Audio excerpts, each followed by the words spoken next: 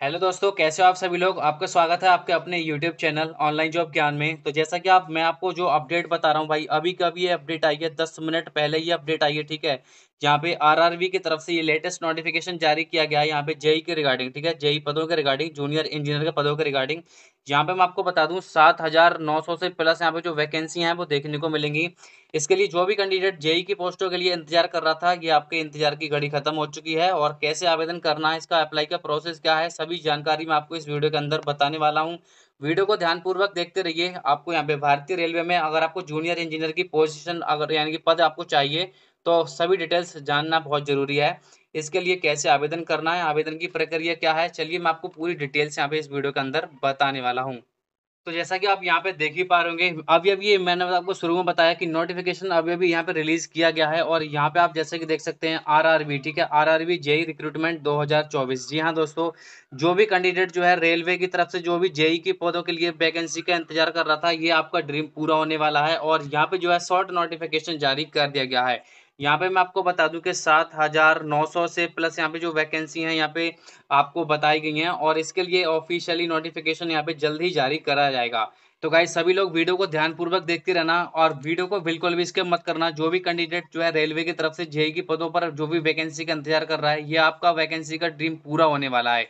जैसा कि आप देख ही पा रहे जेई लेवल की पोस्ट यहाँ पे देखने को आपको मिल रही है जूनियर इंजीनियर की, ठीक है? सात हज़ार नौ सौ चौंतीस यहाँ पे टोटल जो पोस्ट है, वो आपको देखने को यहाँ पे मिल जाएँगी। जैसा कि आप देख सकते हैं, सात हज़ार नौ सौ चौंतीस पोस्टों के लिए वैकेंसी निकाली गई है। इसके लिए दोस्तों यहाँ पे क्या क्या क्वालिफिकेशंस हैं एलिजिबिलिटी क्राइटेरिया क्या रहेगा? तो यहाँ पे देख सकते ये जो वैकेंसी रिलीज़ करी गई है, ठीक है? यानी कि जो शॉर्ट नोटिफिकेशन रिलीज़ करा गया है, ये एक एम्प्लॉयमेंट न्यूज़पेपर द्वारा रिलीज़ करा गया है, ठीक है? और इसके लिए दोस्तों, यहाँ पे आप जैसे कि देख पा रहे हो यहाँ पे दो अगस्त से इसका जो फॉर्म है, वो यहाँ पे स्टार्ट हो जाएगा। सभी आरआरबी के जॉन से ऑनलाइन फॉर्म जो एस हैं वो किए जाएँगे।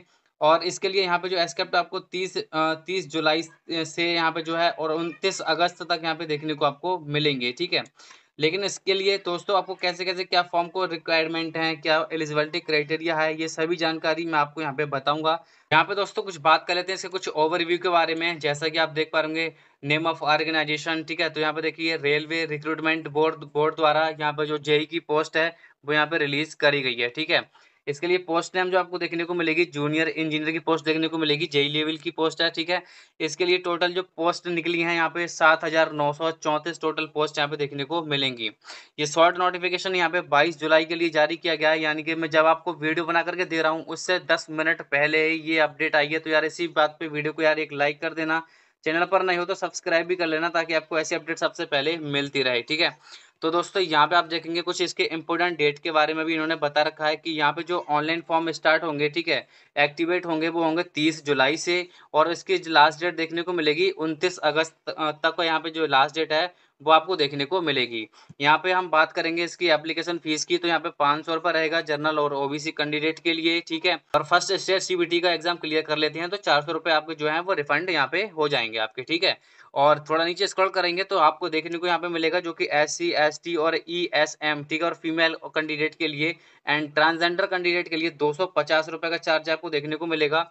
अगर आपका सीबीटी एग्ज़ाम यहाँ पे क्लियर हो जाता है तो आपको 250 के 250 रुपए ही आपको रिफंड यहाँ पे कर दिए जाएँगे। आपको जो ऑनलाइन पेमेंट करना होगा वो ऑनलाइन के माध्यम से ही होगा, जैसा कि आप यहाँ पे देख ही पा रहे यहाँ पे आर आर विजय की रिक्रूटमेंट की जो वैकेंसीज की एलिजिबिलिटी क्राइटेरिया है, उसके बारे में आपको यहाँ पे बता देता हूँ, ठीक है? पे बात करेंगे हम यहाँ पे एज लिमिट के बारे में। तो एज लिमिट आप देख सकते हैं 18 से लेकर के 36 वर्ष के बीच में होनी चाहिए। और ये जो आपकी एज काउंट करी जाएगी, एक जनवरी 2025 तक यहाँ पे देखने को आपको मिलेगी, ठीक? उसमें बात करेंगे हम एजुकेशन क्वालिफिकेशन की। तो यहाँ पे आप एजुकेशन क्वालिफिकेशन आप देख पाएँगे, यहाँ पे जूनियर इंजीनियर के जो पद के लिए वैकेंसी निकली है। अगर आपने बीई e या फिर बीटेक वगैरह कर रखा है, ठीक है तो आप इसके लिए अप्लाई यहाँ पे कर सकते हैं। अप्लाई करने के लिए यहाँ पे क्या क्या आपकी जो यहाँ पे ब्रांच है, वो एलिजिबल है, वो आपको आगे देखने को मिलेगी। तो यहाँ पे आप जैसे कि देख सकते हैं, यहाँ पे आपको बताया गया है पोस्ट नेम के बारे में, वैकेंसी के बारे में और क्वालिफिकेशन के बारे में। पोस्ट जो रहेगी वो जेई की, यानी कि जूनियर इंजीनियर की। वैकेंसी जो रहेंगी वो आपके सात हज़ार नौ सौ चौंतीस है। आपने बीई या फिर बीटेक कर रखी होनी चाहिए, ठीक है? जैसा कि आप यहाँ पे देख सकते हैं। बात करेंगे इसमें सिलेक्शन प्रोसेस के बारे में तो सिलेक्शन प्रोसेस आप यहाँ पे देखने को मिलेगा, जो कि आप देख सकते हैं सीबीटी एग्ज़ाम के थ्रू आपको देखने को मिलेगा। डॉक्यूमेंट्स, वेरिफिकेशन, ठीक है, मेडिकल एग्जामिनेशन। इन स्टेप्स के थ्रू आपका सिलेक्शन प्रोसेस आपको देखने को मिलेगा। अब बात कर लेते हैं हाउ टू अप्लाई की, कैसे आपको अप्लाई करना है। तो जो मैंने आपको बताया कि लिंक जो एक्टिवेट होगा, वो होगा यहाँ पे 30 जुलाई के लिए, यानी कि 30 सात 2024 के लिए। तब तक के लिए इंतज़ार कीजिए।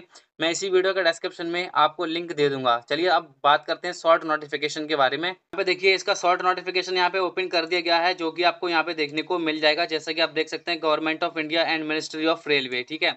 रेलवे रिक्रूटमेंट बोर्ड द्वारा यहाँ पे जेई की जो वैकेंसी है, वो रिलीज़ करी गई है। शॉर्ट नोटिफिकेशन के माध्यम से आपको बताया गया है।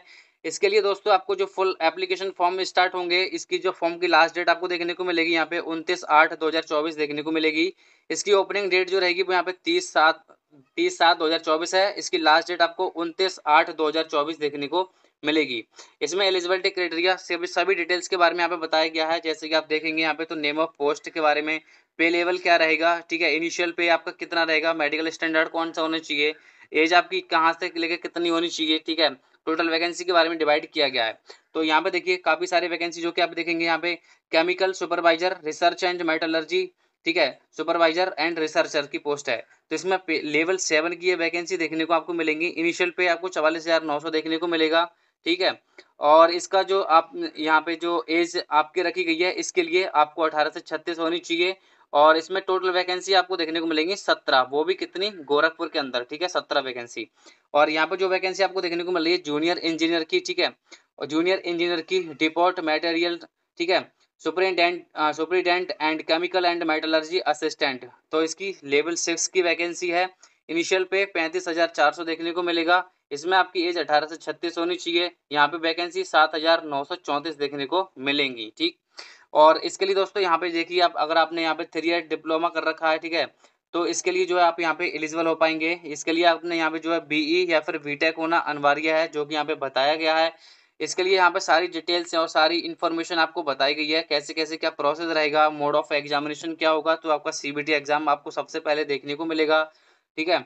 इसके लिए दोस्तों, यहाँ पे मैंने आपको बता दिया शुरू में कि आपको जो जनरल ओबीसी और ईडब्ल्यूएस कैंडिडेट है, वो पाँच सौ रुपये का चार्ज आपको देखने को मिलेगा, ठीक है? जो कि जनरल ओबीसी और ईडब्ल्यूएस कैंडिडेट के लिए first attempt CBT exam first stage को क्लियर करते हो तो आपको चार सौ का जो है, वो रिफंड यहाँ पे कर दिया जाएगा, ठीक? और यहाँ पे जैसे ही आप देखेंगे एस सी और फीमेल कैंडिडेट के लिए तो दो सौ का चार्ज है। इसमें अगर आप फ़र्स्ट सीबीटी एग्ज़ाम क्लियर कर लेते हैं तो आपका दो सौ पचास का दो सौ ही यहाँ पे रिफंड आपका कर दिया जाएगा, ठीक? तो ये प्रोसेस था। शॉर्ट नोटिफिकेशन के माध्यम से मैंने आपको पूरी जानकारी बता दी। जैसे ही आपका फुल नोटिफिकेशन आएगा, मैं आपको पूरी वीडियो अपडेट करके बता दूँगा।